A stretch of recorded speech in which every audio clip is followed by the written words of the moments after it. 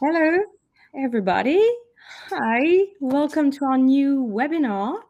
Um, we are going to, to talk uh, about the uh, uh, the many challenges that we marketers are facing when we try to prove the impact of our marketing campaigns effectiveness on our business growth. And I'm not alone to talk about that. Uh, Camille Borody is here with me, another fellow marketer. Hi, Camille. How are you? I'm good. How are you doing? I'm good. I'm good. Um, is here uh, with us today to share her own experience and and uh, and story on implementing and streamlining um, um, a better way to to analyze marketing data um, across different channels. Um, so we've quite an, an, agenda today, and I see people still joining in. While people are joining, I want to make sure that everyone can see and hear us uh, properly. Um, if you have any issues during the webinar, you can um, post a, um, I'll, you know, uh, give me a sign in, in the chat just to make sure that um, um, we can stop if there are any issues. You can also uh, post your questions and we'll address them at the end of the webinar. Uh, and it is recorded, so you'll get the uh, the recording in your inbox in a in a couple of days. All right. Um, welcome, welcome.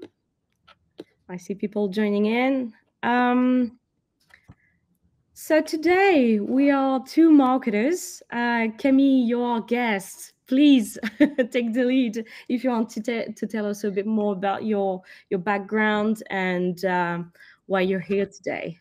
Yeah, absolutely. Well, first, thank you so much for having me. I always love talking about marketing um, and getting into the nerdy details. Mm-hmm. Uh, I'm a multi channel marketer who has managed an array of different, mostly food and beverage and service driven brands in Toronto, Canada.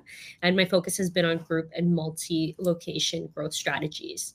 Um, so I've spent about the past seven plus years working with various types of brands, and they've ranged from startups to those with long established histories within their communities. At the time of using the ClicData dashboard, uh, I was working with Archive Hospitality, which is boutique hotel group that owns and operates uh, multi-property locations within Ontario. Cool, thank you. And um, I'm Axelle. I'm the marketing director at ClicData uh, for almost six years now. Um, my background is mostly in, in the SaaS tech uh, space. Um, my, you know, I enjoy uh, working on on demand generation and uh, making sure that marketing and sales are aligned um, to achieve business growth. Um, but my job today is to make sure it, to that you guys are taking away practical tips that you can apply to your own marketing analytics. Um, and finally, being able to shine at your quarterly report, uh, reports and meetings. Um, and we have quite an agenda. Um, so, as mentioned, we marketers are um, the new revenue drivers, but we are still struggling to prove that uh, and answer the uh, the big ROI question uh, that our CEOs are obsessed about. Um, and uh, it's due to the complexity of handling multi-channel campaigns. Um, and we're going to see that through cami's experience because the hotel industry takes it to a whole new level of complexity. And the solution that we have in hand, in hand is unifying data, uh, not just marketing, but marketing with revenue and sales, um, which is the trickiest part.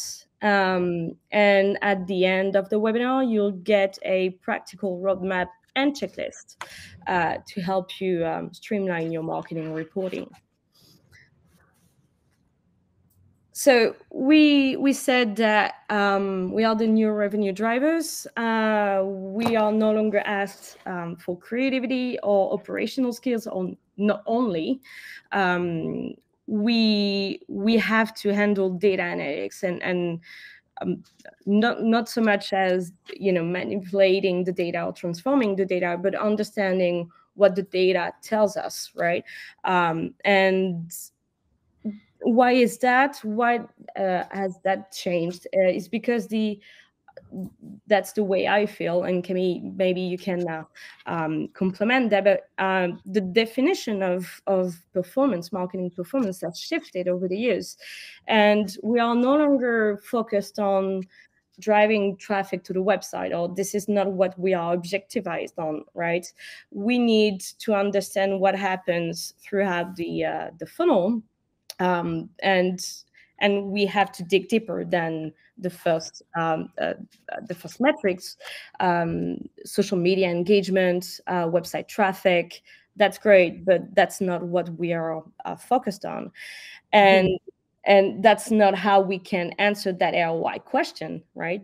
Um, and yeah. go ahead. Sorry interrupt. I was just going to say I absolutely agree. So as creatives, the analytics are our currency, um, and they're how oftentimes we're able to prove the need and still uh, the importance of all of the other creative elements of our job and why you know spend X amount of time on those other social strategies or on those more visually and content driven strategies.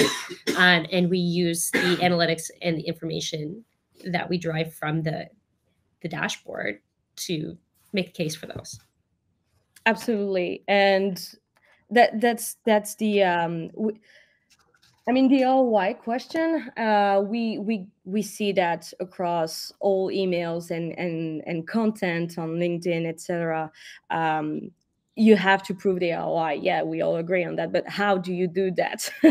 um, is is the uh, the trickiest part again, because you you have to um, uh, to to make sure that you not only you consol- you have a consolidated view of your marketing channels but what's the impact of of those channels on not only the conversions but on the revenue of your of your business. Um, and since you've faced those challenges um, can you uh, tell us a bit more about the struggles um, to report or to to answer that ROI question in the uh, uh, hotel industry, Camille? Yeah, absolutely. So I was working with a relatively small in house creative team, and our goal was to build our own in house agency model. And to do that, we needed to have a sense of efficiency, internal efficiency, um, but we also needed to ensure consistency in reporting. So after COVID, um, like many companies, you know, you face some turnover. And because of that, you're dealing with different data that's been reported on in different ways by different individuals. And so the dashboard was my key to mm. creating something that we could use to manage all of our platforms. Hotels take that to a different level because, um, I mean, as compared to, say, maybe a food and beverage standalone restaurant um, because you're dealing with guest communications pre, post, during bookings. You have your OTAs, which are your online travel agencies. Um, and then you also have other travel tourism sites. And we needed a place to streamline all of that data. Um, it also allowed us to consolidate and bring in um, booking information. So while there are many platforms like your Sprout Socials or your Hootsuites that can bring in Twitter, Instagram, what have you, it didn't also allow us to bring in our booking information, um, which is really where we're going to be getting that qualitative sales reporting. And you you mentioned the, the few uh, different sources that you worked with. Um, how did you uh, report or um, you know to to your management? How did you? What was the reporting situation back then, pre ClicData? So pre-ClicData, the reporting situation was uh, more of a quarterly reporting, but it was very manual. So mm-hmm. using things like Excel, pulling in all of your information, and then trying to kind of jump between platforms to ascertain what the larger story was that that information was telling you. By having it in one dashboard, it means that when I'm bringing on new team members, they're coming in at different even skill levels or experience levels. I've spent the time to really identify what those KPIs are. So they're looking at this composite now. That's like a, a more high level example mm. of or high, a high level story of what's happening with our locations. Um, and then through ClicData, you can also just easily export that consolidated report So previously using Excel sheets, putting all of our information in there, and then using that information to then create a deck or something else that is more uh, hmm. presentation friendly. Yeah, and uh, so the, the the highlights here, I think, is um, one very manual. Two, you mentioned that it was done quarterly, so that means that if you wanted to have a monthly report, because uh, uh, we also report, you know, I'll take a look at the bigger picture on the quarterly basis but we do need that monthly view right? Because of course yeah. Depending on what depending on what the project is obviously you're going to look at something more immediately. But i mean for yeah, larger decision making. Yeah, we're looking at more on a quarterly basis. And also the amount of time that goes into the translation of the data from the Excel to a deck is not always something that you can do on a weekly or even monthly basis. Absolutely. Um, I think that um, we need to uh, to explain a little bit what we mean by data unification, uh, and not in general, but in marketing specifically.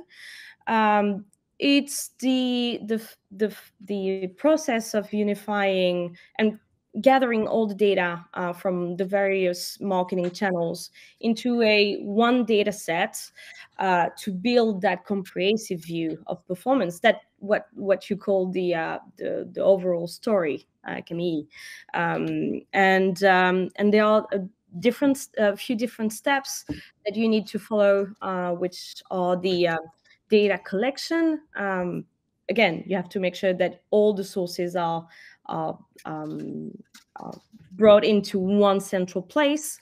Uh, so that means that the tool needs to connect to all the, the channels. And that's one, one of the challenges that you mentioned, Camille, with Sprout Social. They connect data from social media. That's mm-hmm. it. Yeah. Um, you can bring in your uh, your booking information, or uh, if you work with um, or in the, in the B2B space from your CRM or your your ERP, uh, that's not possible. Um, data cleaning because the data is not cleansed or it's it's not it's not clean when it comes in uh, removing duplicates errors missing data then you have to transform and consolidate the, the data sets to make sure that you have one actionable and ready to use uh, uh, tables, right? Data table. And then you you you arrive at the uh, visualization part. Um, so you we see here that the data unification is not only data viz or building metrics. Um, it's it's actually a lot more, and it does require a few data skills. Um, which are not not really within the uh, marketing uh, job description, but um, it does require that that skill set. Um, and um, just to uh, to make sure that we uh, tie everything together, um, what does that mean? Unifying data with ClicData in your experience, Camille? Yeah. So first, I would say that first things first is I start by doing um, a bit of an internal audit. So, what are all the different platforms that you're using? Are some of them overlapping or doing similar things? And then identifying what the KPIs are from each of those platforms. Um, from there, it was important for me to look into those platforms and ensure that they were able to integrate with um, ClicData, which most of them were, which was which was great. Um, and um, from there the kind of setup was quite easy. I found as someone that's um, you know it, not extremely tech savvy it was relatively easy to pull in each of those sources after being taught by the ClicData team that process. Um, and you on your dashboard have really nice segmented areas for your social and then your booking. Um, we use OpenTable in the restaurant industry. I was able to select um, even which space because with uh, these properties, uh, there's different even restaurants within the hotel. So we're able to kind of toggle between which restaurants we wanted to look at, and then obviously set like our comparative periods. Mm-hmm. And within that one dashboard, you're able to see not only that section of time, but maybe you're looking at a year over year comparison or you know, same day sales um, comparison uh, all in one place. Perfect. And how did you um, handle the data transformation consolidation um, on, on, on your project? Is that um, is that something that you outsourced or with with the services team? Um, in terms of uh, which particular platform, I think it depends um, on exactly which particular platform you mean. For most of them, it was relatively frictionless. Okay, perfect. Um, and while we were um, uh, working on, on, on this webinar, uh, Camille and I thought that it would be great to show you a couple of examples, um, dashboard examples, um, just to illustrate what you could do uh, with ClicData and um, after the process of unifying all that data. Uh, so I'm just going to switch over to my screen. Um, can everyone see the dashboard properly? And read it. okay, cool. So this is just an example of um, a, a, social media overview because we've mentioned social media being, you know, you you could have a um, uh, either four different tabs with LinkedIn, TikTok, and in Meta Analytics open, or with your Sprout Social, but the the the built-in analytics in those tools are very um, um, limited and not very flexible in terms of which time period you could look at or the uh, the different filters that you can apply.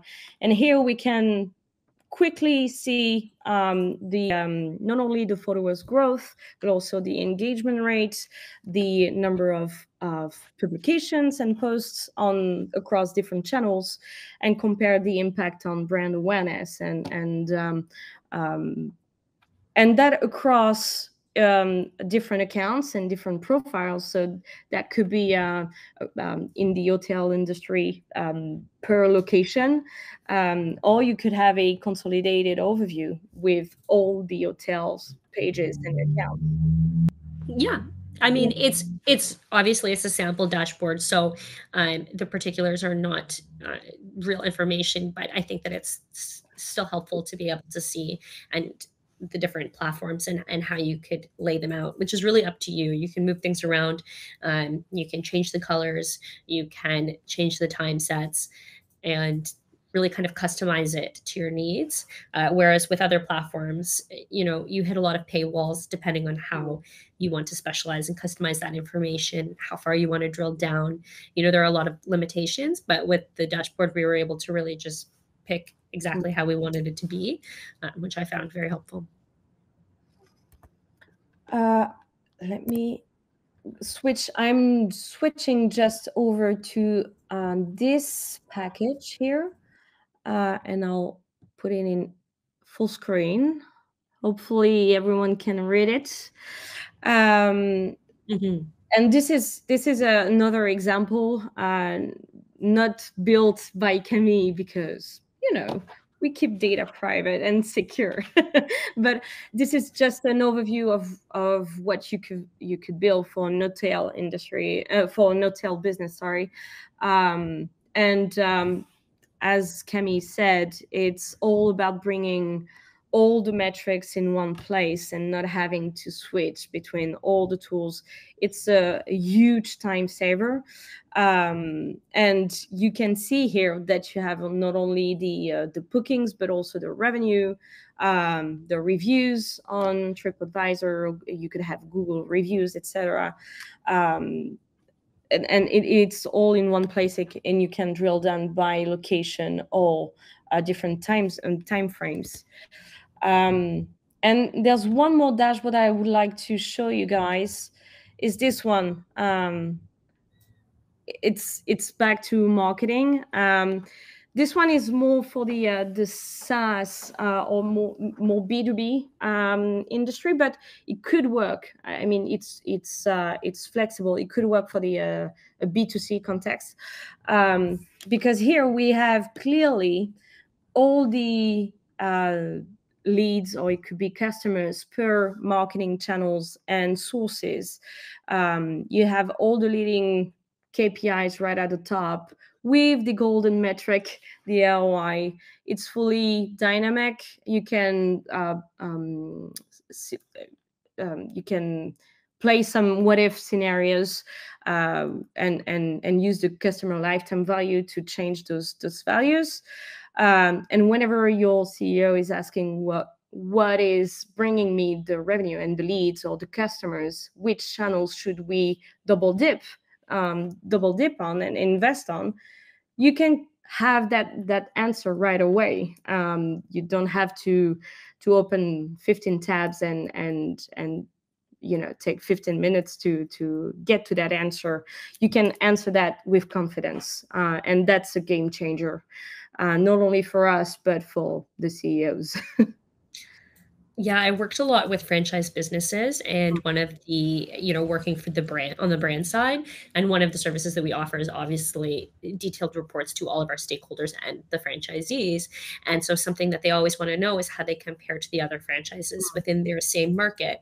And so you're you're sometimes limited by how much information you can share.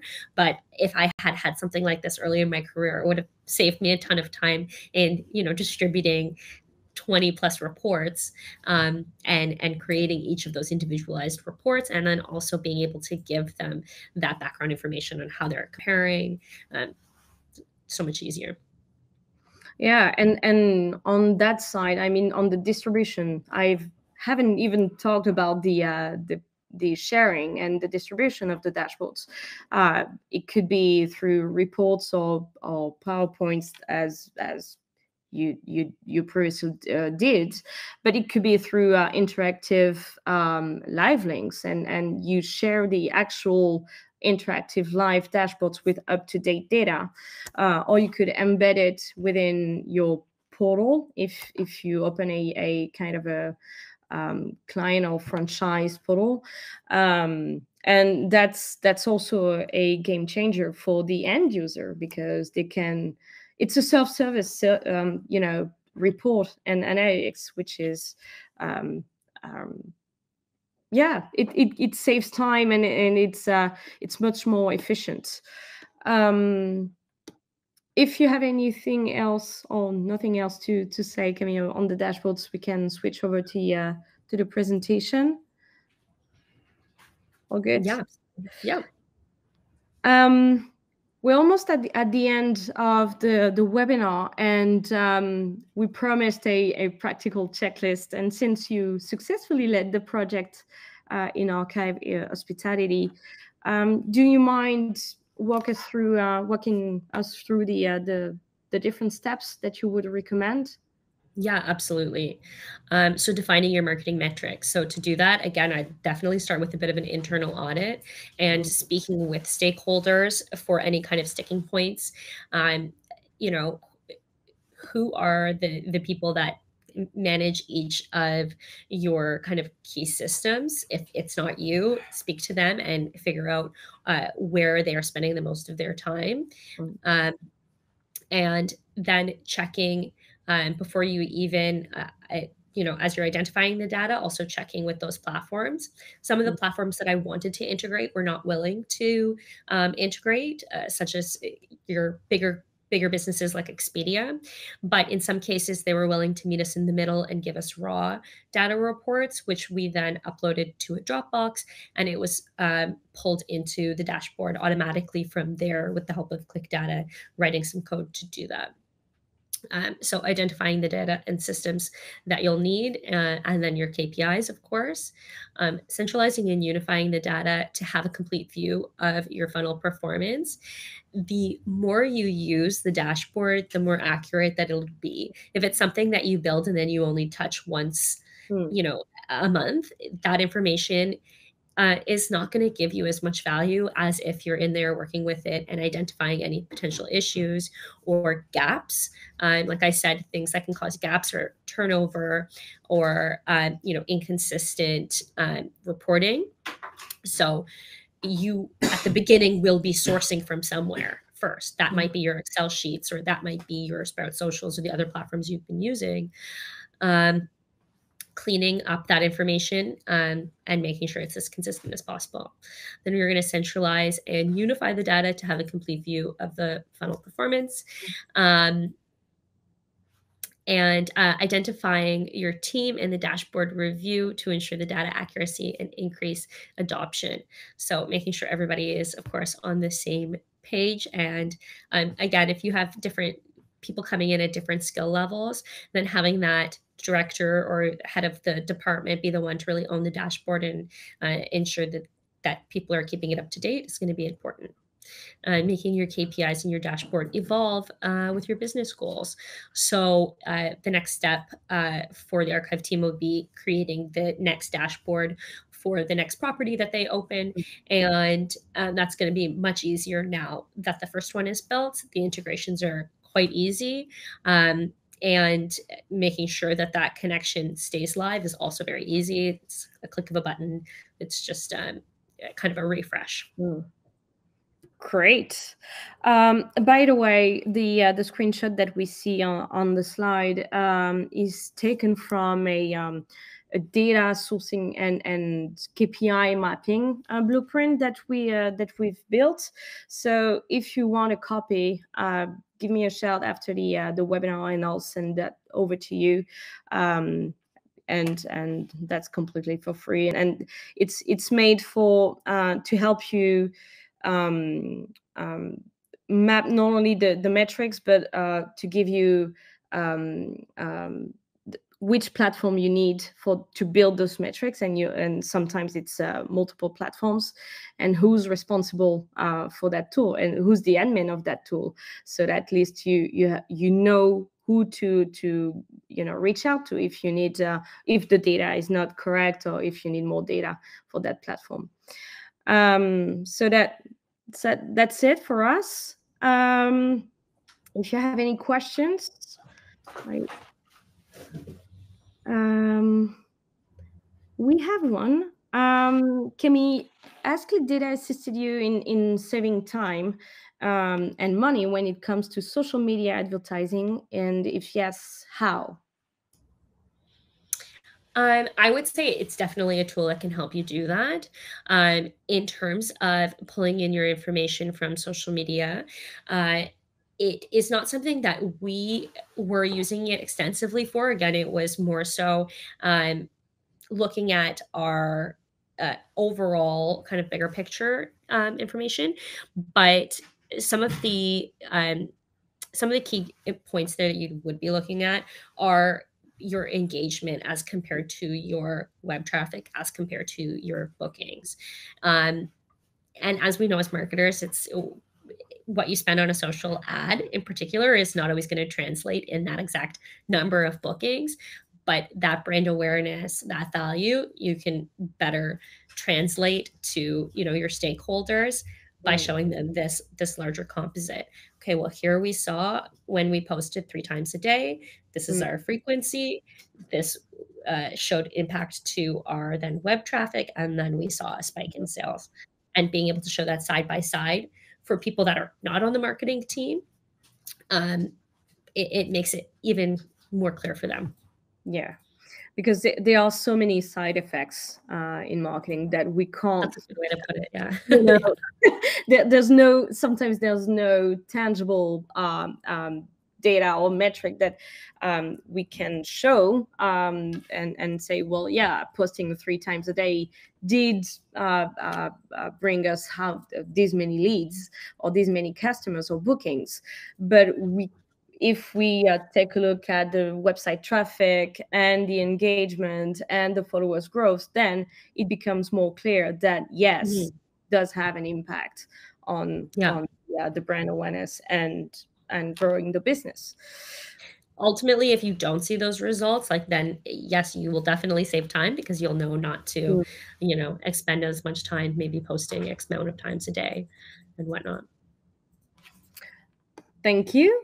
Um, no other questions?